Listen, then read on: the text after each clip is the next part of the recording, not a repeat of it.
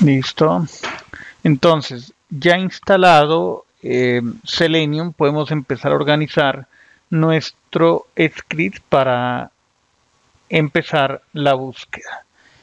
Tenemos este, mm, este endpoint, esta operación de ruta que ya hemos probado directamente desde la página. Básicamente el usuario escribe un valor en el campo correspondiente. Esto lo voy a actualizar. Este es el botón de búsqueda. Aquí otros datos. Aquí tenemos esto. Vale. Listo. Eh, tan, tan, tan, tan. Un commit. Remoción de comentarios. Ejecutemos la página. Por aquí está el comando flags app run debug. Esperamos un segundo y vamos hacia el navegador web. Tan, tan, tan, por aquí es esta. Ahí está activa la página. Eh, creo que se fue para otro lado. Es esta la página. Entonces si escribimos aquí cualquier texto, digamos fa hate 451. Buscar y se va directamente al servidor a través, aquí podemos examinar en la pestaña Network cuál recurso se ha utilizado. Observemos que está la ruta, eh, ampliemos el ancho. La ruta que se ha utilizado es la de buscar. Em, respecto al código que hemos desarrollado, por aquí está entrando, por esta ruta. Y esto ocurre en, en Python, en el servidor Python que se está ejecutando detrás de cámara. Básicamente, desde la página en sí está siendo em, entregada a partir de Flags, nuestro servidor de aplicaciones web. Es básicamente el framework y al mismo tiempo cuenta, si nosotros observamos en el, en el ambiente virtual, vayamos un momento ahí como por hacer un paréntesis. Em, vamos hasta allá, donde está, por aquí debe estar el, eh, se ha perdido la ventana. Ya la encontré. Por aquí entre todas estas herramientas em, debe estar la librería que permite ejecutar este flags. Y entre todas estas herramientas debe estar la que facilita la ejecución del servidor está eh, em, vale, inclusive le podemos preguntar a ChatGPT para no quedarnos con la duda. Em, ¿Cuál es el servidor que utiliza? Creo que es WSGI. ¿Cuál es el es de esa categoría? ¿Cuál, es el tipo? ¿Cuál es el servidor que utiliza eh, Flags para su ejecución. A ver, esperemos que aparezca ahí el resultado. Está utilizando WorkSoup, no estaba tan perdido. Listo. Entonces, entonces, eh, tan, tan, tan, tan. Eh, vale, estábamos aquí. y se está consultando esta ruta. Creemos eh, una función por aquí eh, que permita, a ver, eh, yo ayer instalé esta herramienta, la del chat de GitHub Copilot, y aquí podemos hacer preguntas. Em, I'm using, lo voy a escribir en inglés, no sé si está en español, a ver, estoy usando, em, estoy utilizando Selenium. ¿Cómo eh, realizo una primera prueba de un cómo realizo un ejemplo dame un ejemplo mejor dicho. Dame un ejemplo de ejecución. Enviamos la solicitud a ver si detecta eh, no quizás por el, por el idioma. Eh, I'm using Selenium for web scraping. Give me a simple example. Ok, ahí viene. Entonces, eh, en su defecto utiliza, mm, utiliza eh, Chrome, pero haremos el cambio a Firefox. Entonces, la primera opción es importar, la primera operación. Una función eh, particular será la de crear, digamos, driver. Ahí ya nos recomienda utilizar Firefox.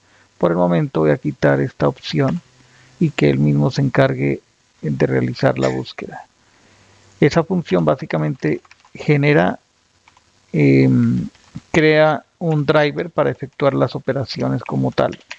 Listo. Entonces, que retorna el driver de Selenium.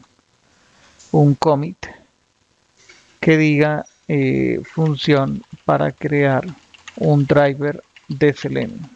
Entre paréntesis, Firefox. Ok. Eh, listo.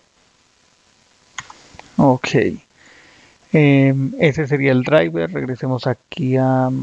A ver. aquí. Luego viene la navegación como tal. Creemos una función que diga... Em, esa función la vamos a ejecutar desde aquí, buscar.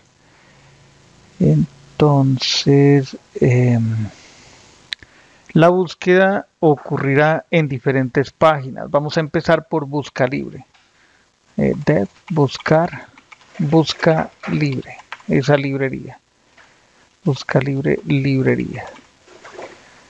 Ok, entonces aquí tendremos una URL. Busca libre CL yo colocaré el contexto de Colombia. Entramos a la página oficial, este es el inicio. Ok, esa URL la pegaremos aquí. Bien. Entonces, él, se requiere el driver como tal. Vamos a crear la instancia del driver y se la pasamos directamente aquí. Y básicamente lo que vamos a retornar por ahora es, escribamos aquí, retornar el contenido, el contenido HTML.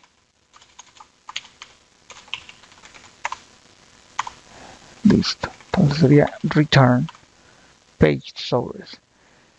Y será el contenido, a ver, em, será lo que retornemos desde buscar.